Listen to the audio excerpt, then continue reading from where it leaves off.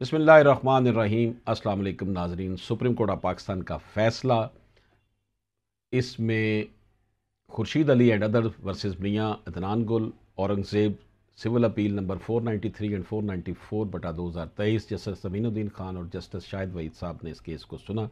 नाजरीन कराम ये इमूवल प्रॉपर्टी की पोजेशन और रिकवरी ऑफ़ मीन्स प्रॉफिट का दावा है। इस हवाले से ये केस सुप्रीम कोर्ट में पहुँचा हुआ। दोनों फ्रीक उधर आए हुए हैं अपने, अपनी अपील के साथ। हम इस वीडियो में जो इशू डिस्कस कर रहे हैं इस केस के हवाले से वो ये है कि when should a plaintiff file a suit for declaration possession and injunction कि किस वक्त मदई को दावा इस्तकरार हक, कब्ज़े का दावा और हुक्म तनाई का दावा जो है, ये तीनों चीज़ें किस वक्त फ़ाइल करनी चाहिए?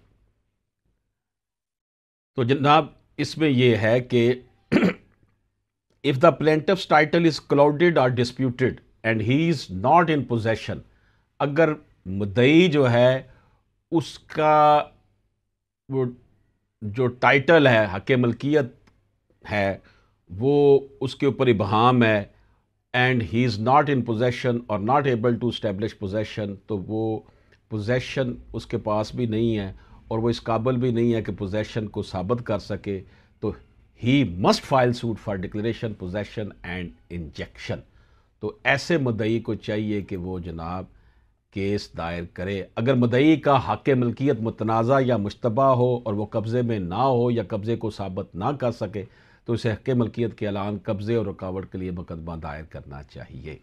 इजाज़त दीजिए। अल्लाह हाफिज़।